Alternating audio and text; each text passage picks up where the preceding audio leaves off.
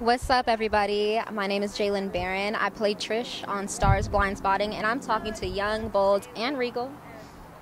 I mean, I was extremely excited. I'm really grateful, and I'm just happy that everybody was able to appreciate the art that Rafael and David put out into the world, and everybody was just able to soak it up every day in my life is just being unapologetically black um, and you know hispanic and just really proud of where i come from and practicing my culture every single day and making sure i represent it and also just making sure my future children hold on to that heritage as well for years and years to come um, you guys can definitely see me in a movie that's gonna have somebody named LeBron James in it.